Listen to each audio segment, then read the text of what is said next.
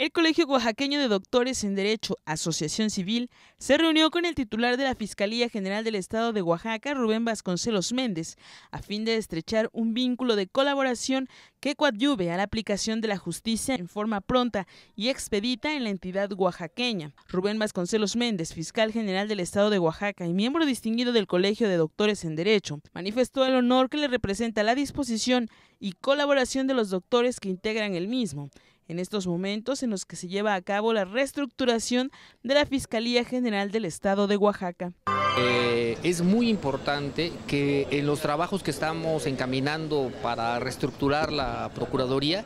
estén presentes los expertos en derecho. El Colegio de Doctores en Derecho ha sido un referente en muchos proyectos de reforma al sistema de justicia, en términos generales al sistema jurídico del Estado, y precisamente hoy hemos hablado de la necesidad de que se incorporen a los trabajos de reestructuración de la institución, contribuyendo con sus conocimientos, con la experiencia que tienen, porque varios de ellos no nada más son académicos, investigadores, sino también litigantes, precisamente en el impulso de reformas legales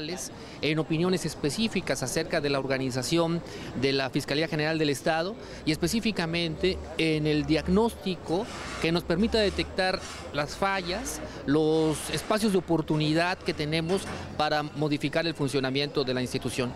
Nadie más que los doctores en Derecho, eh, que los abogados de Oaxaca, eh, en, donde la Fiscalía es precisamente su casa, su espacio de trabajo, eh, que participan en ella en el proceso de reestructuración que vamos a llevar a cabo.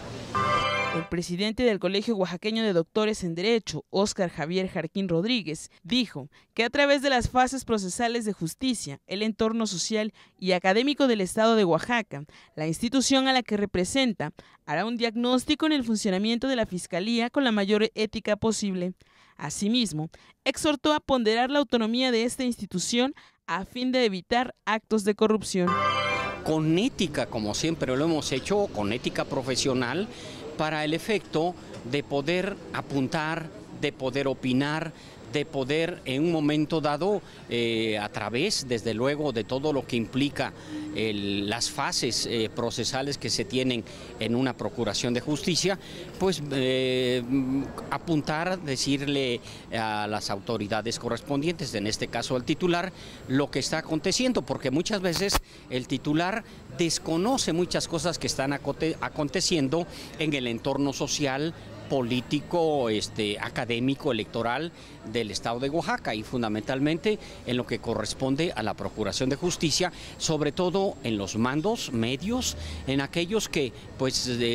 muchas veces, es de decirlo, no atienden al público debidamente, no cumplen con sus obligaciones estando al frente del cargo que se les tiene encomendado. Y eso es lo que vemos fundamentalmente los que nos hemos dedicado a la postulancia, de que vemos cómo eh, hay corrupción, cómo se imparte eh, venalmente la justicia muchas veces y sobre todo cuando las personas con escasos recursos, sobre todo que es lo que acontece comúnmente, no tienen confianza en la Procuración de Justicia. Cabe mencionar que el Colegio Oaxaqueño de Doctores en Derecho AC está integrado por los doctores Óscar Javier Jarquín Rodríguez como presidente, así como Rogelio Chagoya como secretario, Eleodoro Caballero Caballero tesorero, Pedro Ismael Rojas González primer vocal, Roberto García Pérez segundo vocal y Cira Mariana Morales Ramos, coordinadora de Relaciones Públicas.